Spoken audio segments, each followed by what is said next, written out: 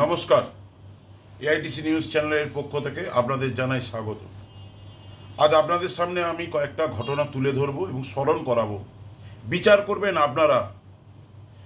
কয়েকদিন আগে কয়েকদিন আগে কালিয়াগঞ্জের এক আদিবাসী আমার এক বোনকে যেভাবে গণধর্ষণ করা হলো এবং তাকে তার নিতর দেহটাকে নিয়ে টানতে টানতে টানতে টানতে তার দেহ থেকে পোশাকটা খুলে যাচ্ছে। আবার তাকে পরিয়ে দেওয়া হচ্ছে, আবার খুলে যাচ্ছে, আবার তাকে পরিয়ে দেওয়া হচ্ছে। সেই বডিটাকে যখন টানতে টানতে মানুষ পুলিশ নিয়ে যাচ্ছে, তখন আপনারা সবাই দেখেছিলেন। যখন এই ঘটনাটা ঘটে, যখন আদিবাসী ওই বোনকে গণধর্ষণ করে মেরে ফেলে দিয়ে যাওয়া হয় পুকুর ধারে, তৎকালীন সময় সেই এরিয়ার আদিবাসী ভাই বোনেরা, তারা সেখানে সেই বডিটিকে নিয়ে একটা আন্দোলন করে। তাদের মাঝখান থেকে পুলিশ বডিটিকে হাইজ্যাক বা টেনে কোনো রকমে গাড়িতে তুলতে পারলে যেন বাঁচে, এইভাবে বডিটিকে টানতে টানতে টানতে টানতে নিয়ে যায়, সেটা আমরা সবাই, আপনারাও দেখেছেন, আমিও দেখেছি। বিচার করবেন আপনারা। আজ আমি শুধু কয়েকটা প্রশ্ন আপনাদের সামনে রাখব। সেদিন যখন নিয়ে যাচ্ছিল ওই বডিটাকে টানতে টানতে, সেটা কি আদৌ শোভনীয়? আপনারা বিচার করুন। পুলিশ যেভাবে টানতে টানতে দেহটিকা নিয়ে যাচ্ছিল, সেটা কি আদৌ শোভনীয়? আপনারা বিচার করুন, আমি কিছু বলব না। আমি পশ্চিমবঙ্গ নাগরিকের কাছে বলব, পশ্চিমবঙ্গের নাগরিকের কাছে বলব, আপনারা বিচার করুন, এভাবে একটা লাশ বডিকে কি নিয়ে যাওয়া যায়?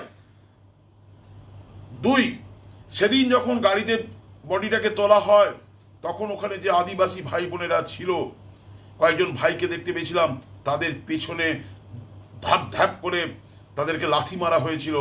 কারা মারছিল? এই খাঁকি উর্দিদারি পুলিশ, পেছনে লাদ মারছিল। সেটাও আমরা দেখেছি। সেটা কি ঠিক হয়েছে? বলুন তো আপনারা। আপনারা সোশ্যাল মিডিয়ায় নিশ্চয়ই দেখেছেন মেন স্ট্রিম মিডিয়াতেও দেখেছেন।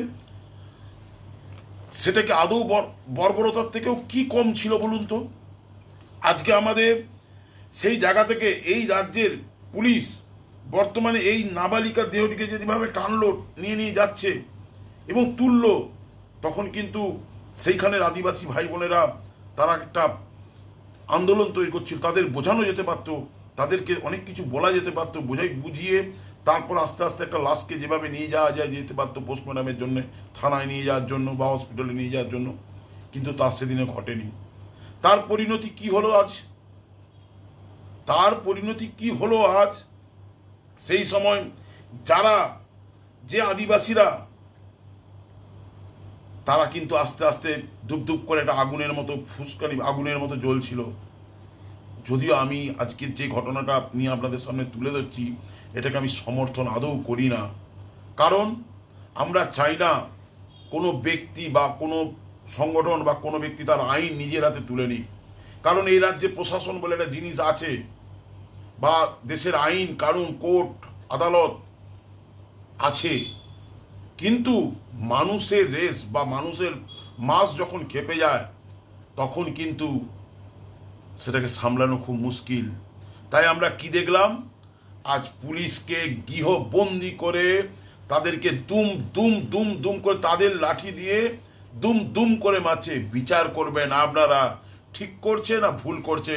ছেড়ে দিলাম আপনাদের কোর্টে। আপনারা বিচার করবেন। সেদিন যখন লাশটাকে টেনে টেনে নিয়ে যাচ্ছিল, তারা সেদিন ভাবেনি। আমি এর আগেও বলেছিলাম, প্রত্যেক ক্রিয়ার একটা বিপরীত প্রতিক্রিয়া ঘটে। আজকে যেভাবে সমাজে এই বাচ্চা মেয়েটিকে টানতে টানতে সেদিন গাড়িতে তুলেছিল, সেদিন কিন্তু এই আদিবাসী ভাই বোনেদের মনের মধ্যে একটা আক্ষেপ জন্মেছিল, তারই কি প্রতিফলন ঘটলো? তারা কি প্রশাসন কাজকে এইভাবে থানার মধ্যে ঢুকে আমি যদিও সমর্থন করি না, এই কাজটাকে একদমই থানাতে আগুন ধরিয়ে দেয়া বা পোশাক পুলিশের উর্তি খুলে তাদেরকে বেধড়ক মার পুলিশের লাঠি দিয়েই পুলিশকে মার। তার মানে প্রশাসনের, আমাদের বর্তমান প্রশাসন কোথায় পৌঁছেছে? আমি এগুলোকে একদম মানে দেখাচ্ছি না দেখালে আমাকে সমস্ত ভিডিও আছে, সমস্ত ডকুমেন্ট আছে। কিন্তু আমি চাই না এগুলোকে পুনরাবৃত্তি করতে। কিন্তু আপনারা বিচার করুন, জনগণের আদালতে বিচার হোক, যে আজকে যে ভদ্র বাচ্চা মেয়েটিকে নিথর দেহটাকে টানতে টানতে নিয়ে গেল এবং ধর্ষণ হলো তার কি পরিণতি হলো? তার পরিণতি কি? আজ পুলিশকে মার খেতে হচ্ছে। যে রাজ্যের পুলিশকে মার খেতে হয়, যে রাজ্যের পুলিশের উর্দিকে খুলে তুলে ফেলে দেয়, যে পুলিশের লাঠিতে পুলিশকে মার খেতে হয়, সে রাজ্যের প্রশাসন কতটা ব্যর্থ? আপনারা বিচার করুন। আপনারা বিচার করুন। এবং তারপরে যে ঘটনা ঘটলো, পুলিশের এক এক করে পুরো প্রত্যেকের একদম, সে কি করুন কান্না, ছেড়ে দে মা, কেঁদে বাঁচি।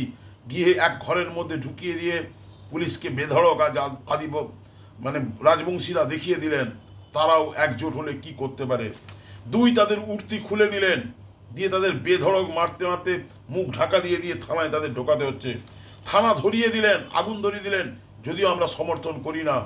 এই ঘটনা খুবই নিন্দনীয়, কারণ আইন কোনোদিনও নিজের হাতে নিচে নেই। আজকে বর্তমান প্রশাসন তাহলে কোথায়? ব্যর্থ আমরা ভাবতে হবে। থানার ভেতরে ঢুকে আগুন ধরিয়ে দিলেন। ভাবুন কত বড় ঘটনা। তার পাশে যে পুলিশদের থাকার কোয়ার্টার, সেখানেও আগুন ধরিয়ে দিলেন এবং সেখানে যে পুলিশ অফিসার তাকে তিনি নিজে বাইর দিয়েছেন, তার পরিবার এবং কন্যা নিয়ে তিনি ছুটে পালিয়ে গিয়ে কোনো রকমের একটা এক কাপড় জামাতে পালিয়ে গিয়ে তিনি প্রাণে বেঁচেছেন। আজকে এরম ঘটনা ঘটছে কেন? তার বিচার আপনারা করুন। আপনারা করুন, আজই আমাদের রাজ্যে কতটা আমাদের হাত থেকে প্রশাসন হাতের বাইরে চলে গেলে মানুষ কতটা উত্তপ্ত বা ক্ষিপ্ত হলে এই ঘটনা ঘটতে চলে পারে। আর কেনই বা ঘটবে না বলুন তো? কেন ঘটবে না? কিছুদিন আগে আপনাদের মনে পড়বে, যখন কোভিডের সময় পুলিশ প্রশাসনের পেছনে পদাঘাত করেছিল এই রাজ্যের সংখ্যালঘু ভাই বোনের ভাইরা দাঁড়িয়ে দাঁড়িয়ে পেছনে লাদে মেরেছিল। সেদিন এই রাজ্যের মুখ্যমন্ত্রী বলেছিল, দুধেল গাইদের তো লাত, যে গরু দুধ দেয়, তার তো আমাদের লাথি খেতেই হবে। আপনারা বিচার করুন, যে গরু দুধ দেয়, তার লাথি তাহলে খেতেই হবে। না, কে ঠিক করছে?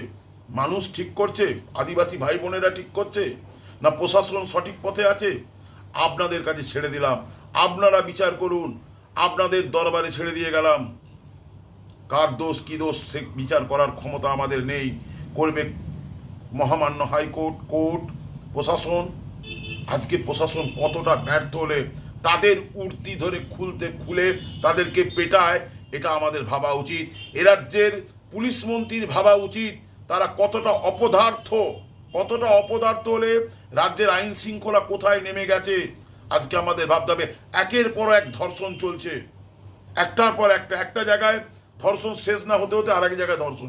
এই কি চলছে? আপনারা বিচার করুন। আপনাদের দরবার প্রশ্ন রেখে গেলাম, কারা ঠিক পথে হাঁটছে? আদিবাসী ভাই বোনেরা না পুলিশ প্রশাসনরা? আপনারা বিচার করুন। আসছি। এখানে আজকে আমার প্রতিবেদন শেষ করলাম।